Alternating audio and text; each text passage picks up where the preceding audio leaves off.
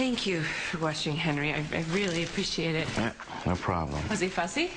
No, it was fine. Did he do that thing where he stretches and he looks like a relaxed old man? You know, honestly, I didn't notice. You did offer to watch it, Sam. Yeah. Well, you shouldn't have if it was just going to piss you off. Sorry for the inconvenience.